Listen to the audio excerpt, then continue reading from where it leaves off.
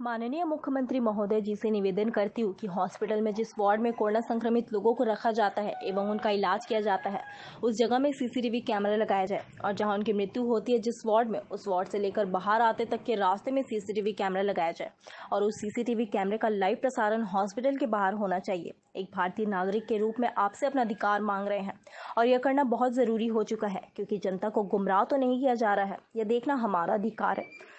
अगर सहमत हो तो इसे आगे भेजें। लोकतंत्र में विश्वास है तो इसे आगे शेयर करें। अब दिमाग लगाकर ज़रा यह सोचिए कि अगर कोरोना संक्रमित बीमारी है तो परिंदे और जानवर को अभी तक कैसे नहीं हुआ? ये कैसी बीमारी जिसमें सरकारी लोग और हीरो ठीक हो जाते हैं और आम जनता मर जाती है?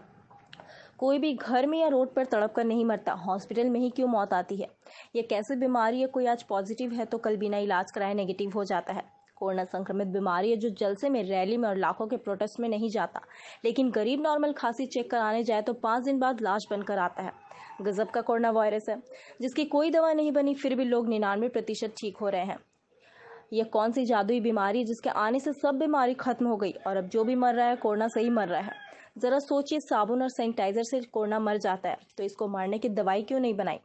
यह कैसा कोरोना है हॉस्पिटल में गरीब आदमी के जिस्म का महँगा पार्ट निकाल कर लाश को ताबूत में छुपा कर खोल कर नहीं देखने का हुक्म देकर बॉडी दी जाती है? है कोई जवाब? अगर है तो ज़रूर देना, अगर नहीं है तो सोचना कि कोरोना की आड़ में क्या चल रहा है। कुछ हॉस्पिटल से न्यूज़ आ रही है कि सुबह मरीज़ को भर्ती किया जाता है और शाम को न्यूज़ मिलती है कि मरीज़ की कोरोना से मौत हो गई।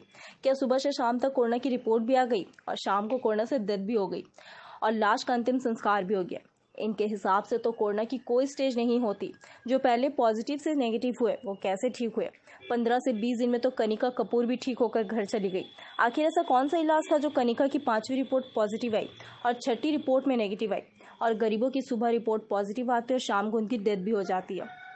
क्या गरीब और मध्यम वर्ग की सिर्फ़ एक ही रिपोर्ट आती है, पॉजिटिव या नेगेटिव, या डेथ? हैरानी की बात है कि कोई खांसी जुकाम, बुखार और कोई लक्षण नहीं, फिर भी रिपोर्ट पॉजिटिव। कहीं कोई किडनी स्कैम तो नहीं हो रहा है? किडनी ही क्यों? आँख, लीवर, ब्लड, प्लाज्मा और भी बहुत पार्ट है। क्या कोई बहुत बड़ा झोल हो रहा है? अंतर्राष्ट्रीय बाज़ार में व्यक्ति के पार्ट्स की कीमत करोड़ों रुपए है। क्या कोरोना की आड़ में कोई षड्यंत्र चल रहा है? क्योंकि मृतदेह को घर वालों को नहीं देते और ना ही कोरोना के नाम से घर वाले बॉडी लेते हैं। और बंद लिफाफे में क्या हुआ है बॉडी के साथ, किसे पता? सबको मिलकर ऐसा कदम उठाना होगा जिससे कम से कम ऐसे की निगरानी में जाँच हो, ताकि हकीकत सामने आए। इस मैसेज को अपने तक मत रखिए, आगे भी फॉरवर्ड करते रहिए।